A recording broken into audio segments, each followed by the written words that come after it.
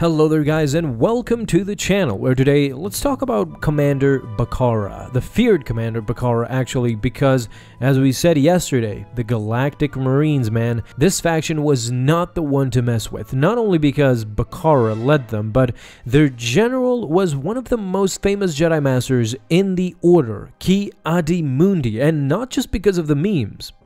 About the droid attack on the Wookiees? Guys, I gotta thank you for showing up and watching these videos. I hope you enjoy these. If you do, show your support by leaving a like down below. Talk to us down in the comments as well. I'm always glad to see you guys there. Today, it's all about Bacara, but a specific moment in his life. The Battle of Mygeeto and what actually happened during that battle. You see, when Bacara and Ki-Adi-Mundi returned to Mygeeto nearing the end of the Clone Wars, the fighting for Mygeeto's capital city worsened by the minute. In an effort to slow down the Republic advance, the Separatists used their enormous tri-droids to lay waste to the cities. What's worse is that the Republic used their artillery pieces to hammer the enemy down. This only managed to destroy the landscape into absolute rubble. As you can see, both sides just aided to the problem. As a result of this bombardment, the skies of Mygeeto were constantly filled with dark gray ash, which was carried by the icy winds across the planet. If you have played the old Battlefront games, you may be more familiar with Mygeeto. It is absolutely horrible to see this happen to the planet.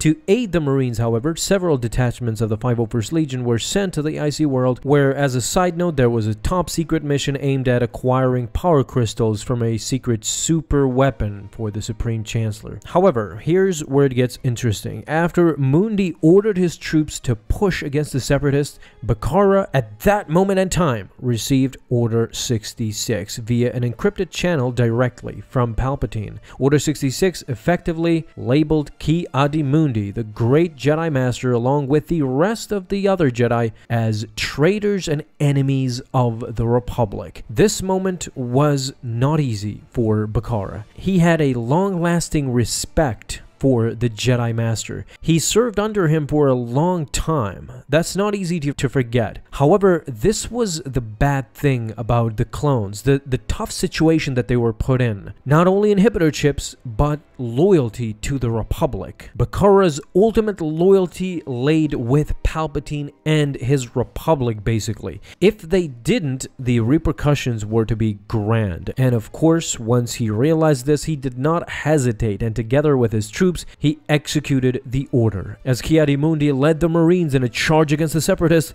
Bacara and the surrounding troopers stopped, raised their rifles, and gunned down a baffled Jedi in a storm of blaster fire. By the way, guys, this was all told through the novel Order 66 that came out after Revenge of the Sith, and it shows how troopers felt about the Order. In this case, as you can see, Bacara was still tentative at first, but as many clones, he had no choice, or else he too would have been probably branded a traitor. Such was the case with the Ion team, for example.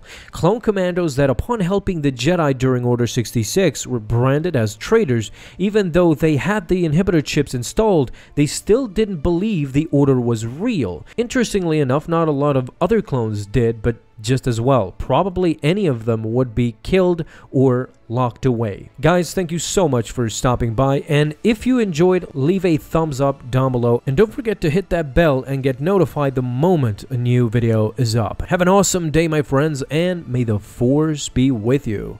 Always.